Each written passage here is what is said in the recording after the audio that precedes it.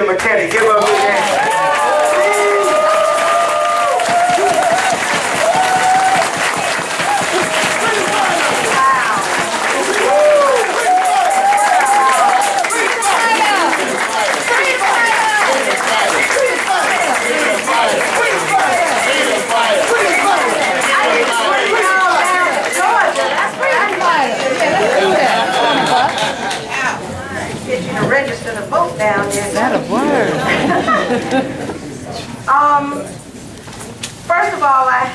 Um, say that, uh, I was feeling kind of unsure of myself when I was coming here because, you know, I have a very tough standard to live up to, and that is my mother. And um, you know how moms are. And my mother would never have approved of me coming to an event like this in just a t-shirt. And then I walked through the door and I saw a room full of t-shirts. And just imagine if I had come appropriately dressed according to my mother, I would not be able to wear my People's Organization for Progress t-shirt. So I feel right at home. Thank you very much. So just ask you to uh, live up to what People's Organization for Progress is really known for around the country. I, I don't know how many times I've met Larry Hamm, but I can tell you that I have heard about People's Organization for Progress because you guys are doing it. You are everywhere.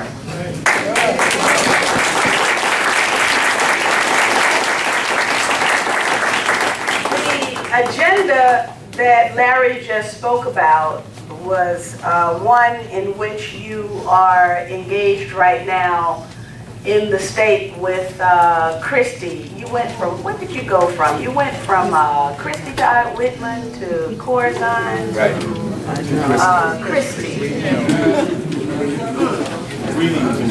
Um, and now, just like the rest of the country, your state and probably your city is uh, engaged in a severe economic crisis. The problem, though, is that inside of a crisis, there are winners and there are losers. And your struggle is about who's going to be a winner. And if the state were to live up to its ideals and live up to the values of the people of the state, then the people would be the winner.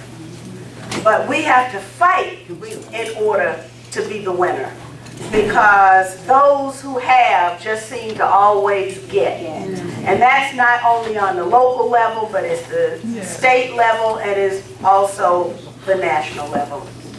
So you are struggling for health care, jobs, against police brutality.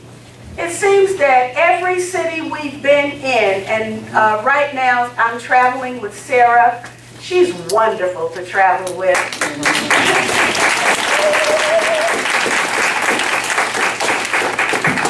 And every city is the same story. Teachers are being laid off. The people are struggling for health care. People are struggling for decent education for their children. They want an opportunity for lifelong learning. And at the same time, we're struggling against getting beaten up or maybe even killed by the people who are sworn to protect us. And everywhere, it's the same story.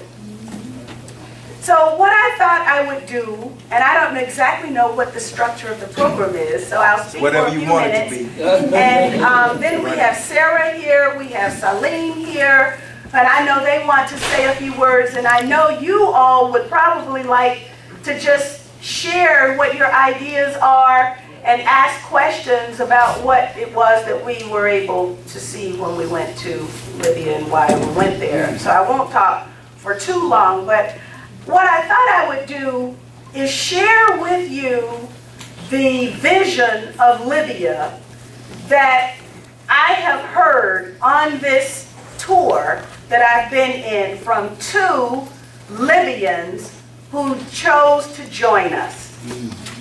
In Houston, we were joined by a dark-skinned Libyan. Approximately 50 to 60 percent of the people in Libya look like me. And so this dark-skinned Libyan told really about this land, he said, was our land. Mm-hmm. And what lies underneath the land belongs to us. And we ain't gonna give it away to nobody. He said that we Libyan people are determined to fight to the last to the last bullet. Yes. That's what he said. And when I was there, I was able to see they've got checkpoints set up. Because you have to drive in now. You can't just fly into Tripoli because it's a no-fly zone. And you drive in from the island of Jerba, which is in Tunisia. It is six-hour drive.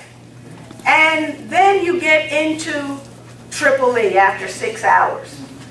And they have, the people have set up checkpoints along the way so that guns can't, or individuals or other contraband can't be smuggled in.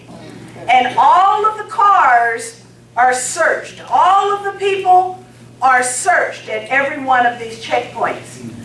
Now, it brought me to tears because these are not police officers. These are not military people. These are average, ordinary folks who love their country so much that they have decided that they are going to create a checkpoint and protect their neighborhoods. As I witnessed this, my struggle in this country for a place. My struggle for identity. My struggle to know who I am, where I come from, what my rootedness is in this country, and what kind of checkpoint could I set up Right now. to love my neighborhood, my community, country, the way I saw those people love their country.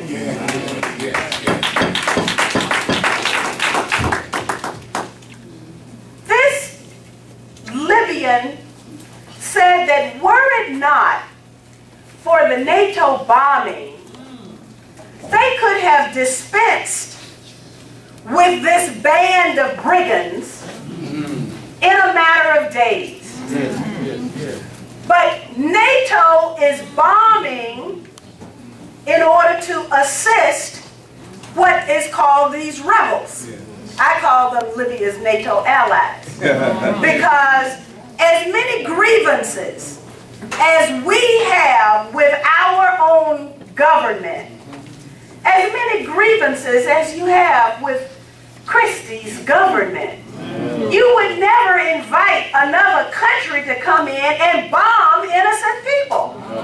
But that is what these Libyan NATO allies have done. And innocent people are being killed. Innocent people in the country, the infrastructure, the individuals, and now even the resources, because I just got word that the Great Man-Made River, which was a project of Muammar Gaddafi who enlisted the Chinese to come in and help them find water underneath the desert. They found the water underneath the desert, and now NATO's bunker buster bombs are contaminating the great man-made river. The bombs have destroyed the pipe plant that makes the pipes for the water. This endangers 70% of the population who rely on this particular project for their water.